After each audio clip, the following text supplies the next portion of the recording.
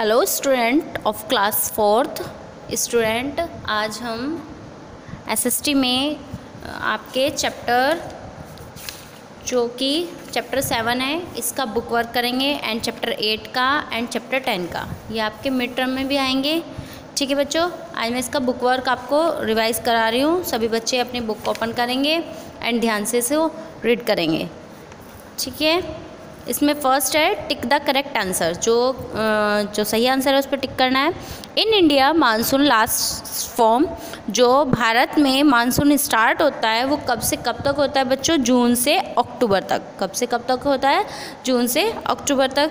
फिर नेक्स्ट है the main three seasons of India are जो थ्री सीज़न हैं इंडिया में, भारत में जो तीन सीज़न है मेन वो कौन कौन से हैं? समर विंटर एंड मानसून है। फिर नेक्स्ट है द रेनी सीज़न जो बारिश का सीज़न है, वो कब स्टार्ट होता है बच्चों? जून से, जून में स्टार्ट होता है। The hot and dry winds जो गर्म और सूखी हवाएँ चलती हैं that blow through north India उत्तरी भारत में, इन समर गर्मियों में आर नाउन उन्हें क्या क्या कहा जाता है बच्चों? लू लू कहा जाता है, जो गर्म और सूखी हवाएँ चलती हैं गर्मियों के दिनों में। फिर नेक्स्ट है फिलअप्स सेंस के all seasons have different climate यानी कि जो आ, सब सारे सीज़न होते हैं वो अलग अलग क्लाइमेट अलग अलग जलवायु रखते हैं। तो इसमें क्या जाएगा? Season many people go to hill station बहुत सारे लोग हिल स्टेशन जाते हैं इन समर सीज़न कब जाते हैं बच्चों? समर सीज़न यानी कि गर्मियों के समय में जाते हैं। फिर नेक्स्ट है, मानसून विंड्स जो मानसूनी हवाएँ होती हैं blowing from the Arabian sea वो अरेबियन सी से जाती हैं एंटर इंडिया फ्रॉम केरला कहाँ से जाती हैं? अरब सागर से जो हवाएँ उठती हैं बच्चों, वो केरला के द्वारा केरला स्टेट के द्वारा भारत में प्रवेश करती हैं, क्योंकि अरब सागर के पास ही केरला है। ओके बच्चों, फिर है Rajasthan receives just ten centimetre of rainfall जो राजस्थान है, वहाँ पर ओनली कितनी वर्षा होती है? सिर्फ़ दस सेंटी सेंटीमीटर यानी कि बहुत कम वहाँ पर वर्षा होती है। स्नोफॉल्स यानी कि जो बर्फ़ है, वो पड़ती है इन हिली रीजन यानी कि जो पर्वतीय पहाड़ी क्षेत्र हैं वहाँ पर ड्यूरिंग विंटर सर्दियों के समय। ठीक है बच्चों, ये था आपका चैप्टर नंबर सेवन अब हम पढ़ते हैं chapter number eight chapter number eight का बुक वर्क ओपन करेंगे। New alluvial soil is called जो न्यू एलिवियल सॉइल है, उसको किससे जाना जाता है बच्चों? खादर के नाम से जाना जाता है। The soil of the delta region is ideal for जो मिट्टी है डेल्टाई क्षेत्रों की, वो आदर्श सिद्ध हुई है, यानी कि बहुत अच्छी होती है, किसके? जूट कल्टीवेशन यानी कि जूट की खेती के लिए। Red soil has high content of जो रेड सॉइल है, यानी कि जो लाल मिट्टी है, उसमें सबसे ज़्यादा क्या पाया जाता है बच्चों? आयरन यानी कि लोहा पाया जाता है।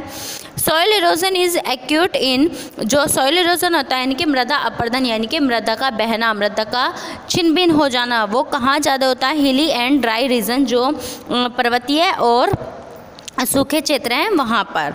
फिर है बच्चों, द फर्टिलिटी ऑफ़ सॉइल, यानी कि जो मिट्टी है, उसकी उपजाऊपन कैन बी मेंटेन बाय जो बनाए रख, रखा जा सकता है वो किसके द्वारा बच्चों?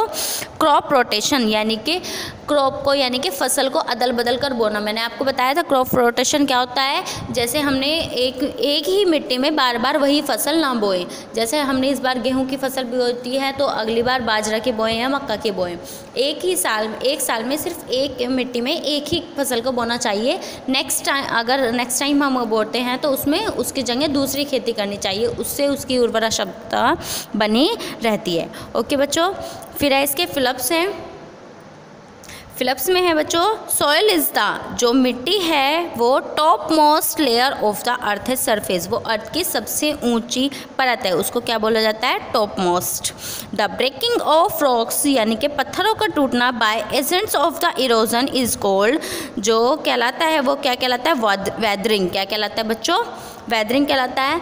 The decayed plant and animals matter that make soil fertile is called जो कि मिट्टी को, मिट्टी की उपजाऊ क्षमता को बढ़ाते हैं, उपजाऊपन बनाते हैं, उसको क्या कहलाता, वो क्या कहलाता है? ह्यूमस क्या कहलाता है बच्चों? Humus alluvial soil is made up of जो एलिवियल सॉइल है, वो बनी होती है किस चीज़ की? क्ले की सेंड की, रेत की एंड ह्यूमस की. नेक्स्ट है regur is another name for black soil जो रेगुर है, वो ब्लैक सॉइल यानी कि काली मिट्टी का अनदर नेम है। दूसरा नेम क्या है? रेगुर ठीक है बच्चों? फिर इसमें है ट्रू फॉल्स है। Soil formation is a quick processor इसमें क्या कहा गया है? यानी कि जो सॉइल सॉइल फॉर्मेशन है, यानी कि मिट्टी के जो बनने की प्रक्रिया है, वो बहुत आसानी से बन जाती है क्विक प्रोसेसर यानी कि बहुत जल्दी प्रक्रिया है। नहीं, ये गलत है। तो क्या जाएगा इसमें?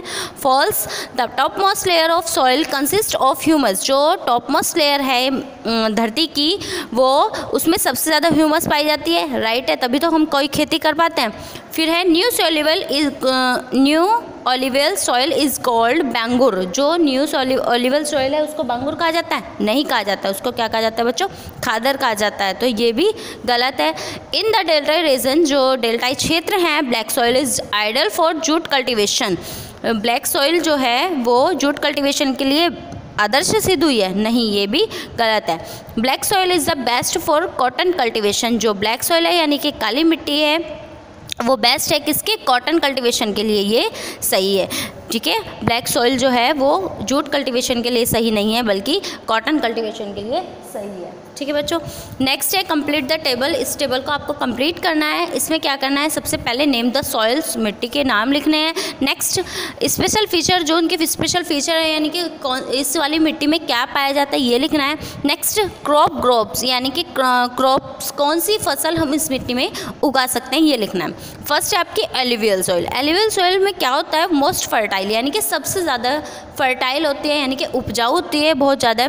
इसमें कौन कौन सी फ़सल हम उगा सकते हैं? राइस एंड शुगर केन चावल और गन्ना फिर नेक्स्ट है सेकंड नंबर पे ब्लैक सॉइल यानी काली मिट्टी काली मिट्टी कैसी होती है वेट एंड स्टिकी बहुत गीली एंड चिपचिपी स्टिकी मतलब चिपचिपी होती है इसमें कौन सी फ़सल हम उगा सकते हैं ज्वार एंड मेज यानी कि ज्वार और मक्का फिर नेक्स्ट है रेड सॉइल यानी कि लाल मिट्टी। लाल मिट्टी में सबसे ज़्यादा स्पेशल फीचर्स यानी कि क्वालिटी क्या होती है इसकी? आयरन कंटेंट इसमें होता है लोहो अयस्क लोहो के तत्व पाए जाते हैं। इससे क्या बनाया जाता है बच्चों? मिलेट्स कौन सी फ़सल बनाई जा, उगाई जाती है? मिलेट्स एंड वेजिटेबल्स फिर है डेजर्ट सॉइल यानी कि रेगिस्तानी मिट्टी। ये कैसी होती है? सैंडी यानी कि रेतीली होती है बहुत ज़्यादा। इसमें कौन सी फ़सल उगाई जाती है? पल्सिस एंड कॉटन ओके बच्चों? ये था आपका चैप्टर नंबर एट अब हम, और आपका चैप्टर नंबर नाइन कट हो चुका है. अब हम पढ़ेंगे चैप्टर टेन ठीक है?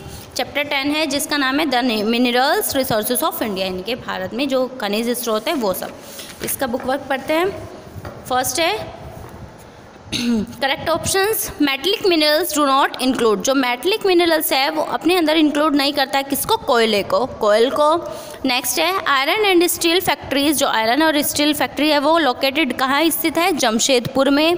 Copper is use for making जो कॉपर है, उसका यूज़ किस लिए किया जाता है? ब्रास ब्रास बनाने में।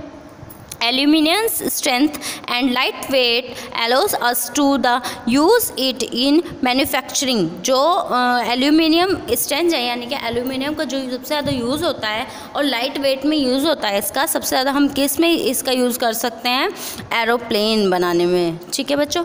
The Panna belt products produce जो पन्ना में है पन्ना किस किसका प्रोड्यूस करता है? यानी कि पन्ना किसका उत्पादन सबसे ज़्यादा करता है? डायमंड्स का। डायमंड सबसे ज़्यादा कहाँ पर होता है बच्चों? पन्ना में होता है। Minerals in crowd from are called ores क्या कहा जाता है उसको? मिनरल्स इन कर्ड को जो निकाला जाता है, वो उसको क्या कहा जाता है? ओर्स अयस्क लाइमस्टोन यानी कि चूना पत्थर। And diamonds are non metallic minerals इनको क्या कहा जाता है बच्चों? नॉन मेटलिक मिनरल्स कहा जाता है। फिर नेक्स्ट है। Stainless steel is made from जो स्टेनलेस स्टील है, वो बनाई जाती है किसकी? कंबाइनिंग आयरन अदर मेटल्स किस किस का कंबाइन होता है? वो आयरन का एंड उसमें अदर मेटल्स भी मिला जाती है, तब बनाया जाता है। Copper is use in manufacturing of electrical equipments यानी कि जो कॉपर है, तांबा है, उसको यूज़ किसमें किया जाता है? मैन्युफैक्चरिंग बनाने के लिए क्या इलेक्ट्रॉनिक इक्विपमेंट जो इलेक्ट्रॉनिक के तार वगैरह सब होते हैं ना इलेक्ट्रॉनिक की चीज़ें होती है बच्चों, उसमें कॉपर का यूज़ किया जाता है। बॉक्साइट इज़ द और जो बॉक्साइट बॉक्साइट है, वो किसका अयस्क है? एल्यूमिनियम का। किसका अयस्क है बच्चों? एल्यूमिनियम का। फिर इसके ट्रू फॉल्स हैं। Coal is use as fuel जो कोयला है, वो ईंधन के रूप में यूज़ होता है। सही है बच्चों? Metallic minerals include limestone and diamond जो मेटलिक मिनरल्स हैं, उनमें इंक्लूड है कौन कौन से लाइमस्टोन एंड डायमंड अभी बताया है, ये कैसी धातु हैं बच्चों? नॉन मेटलिक मिनरल्स हैं। Copper is combined with nickel जो कॉपर है, वो कम्बिनेशन है किसका? निकल का। कॉप सही है ये। उसके बाद copper is use is packaging जो कॉपर है, वो किसमें यूज़ होता है? पैकेजिंग में यूज़ होता है गलत है ये।